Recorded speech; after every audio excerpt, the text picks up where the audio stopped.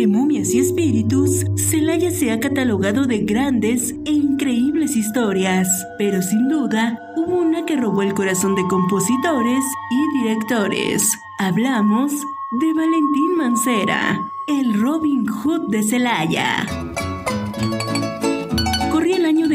1882. La ciudad se veía atormentada por la delincuencia y cada día era la primera nota en los periódicos. Todos los habitantes vivían atormentados por no gozar de seguridad, pues los robos y plagios eran el pan de cada día, tanto para ricos y pobres. Entre esos grupos de delincuentes se encontraba la cuadrilla de Valentín Mancera, un hombre generoso, nacido en San Juan de la Vega, quien llegó a ser peón de una de las haciendas de los españoles que en aquellos años se habían apoderado de tierras de la ciudad. Viviendo entre maltratos e injusticias, un día se vengó y huyó entre los matorrales encontrándose a otros hombres que también escapaban de la justicia, convirtiéndose así en una cuadrilla más de delincuentes, con la diferencia de que ellos solo le quitaban a los injustos y hacendados y ayudaban a quienes menos tenían. Mancera siempre se escabullía entre los rincones del Bajío, pues tenía enemigos quienes buscaban su cabeza y buenos amigos quienes le cuidaban las espaldas. Pero la suerte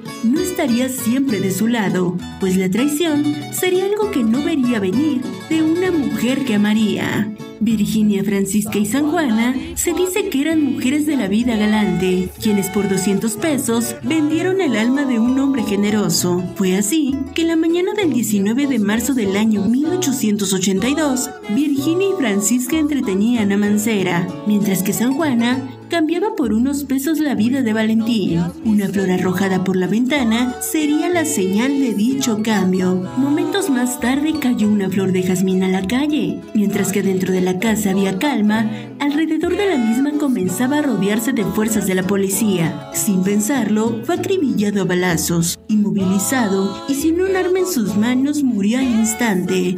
Por los pies y con la cabeza al rebote de los pasos de quienes lo mataron, un sacerdote salió pidiendo compasión cristiana por Valentín, siendo llevado en una camilla improvisada a la jefatura donde fue expuesto como advertencia a los malhechores que seguían haciendo de las suyas. Y aunque Valentín ya no recorría físicamente la ciudad, cada rincón quedó impregnado de su generosidad y recuerdo, donde un corrido sigue tocando su desgracia al ritmo de las viejas guitarras que ya no existen y de las voces que se desvanecieron con el tiempo. Hoy en día cuentan que cada día de Muertos, su tumba que aún se encuentra en el Panteón Norte de la ciudad se llena de flores y veladoras, donde nadie sabe quién las pone, pero hacen de su recuerdo una historia que nunca se olvidará, y mucho menos por las almas que descansan y aún así continúan agradecidos con Valentín Mancera, el bandido generoso. Para Noticieros Expresa TV,